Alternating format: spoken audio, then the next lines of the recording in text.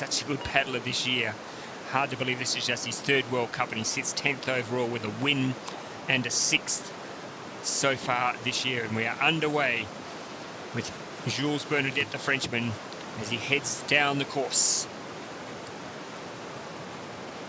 Just a little bit slow there through three and four, but maybe being a little bit conservative, not wanting to take too many risks early on. Bernardet trying to get a bit of a feel for the water, trying to get bit of a feel for this gate combination.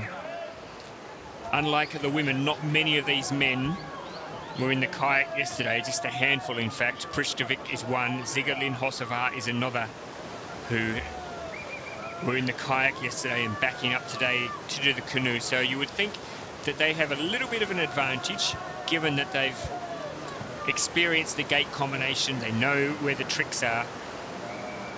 We'll see when they get out on the water in a little while. But at the moment, we're watching Jules Bernardet as he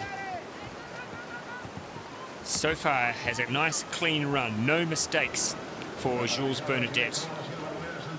17, 18, all good. 19 is good.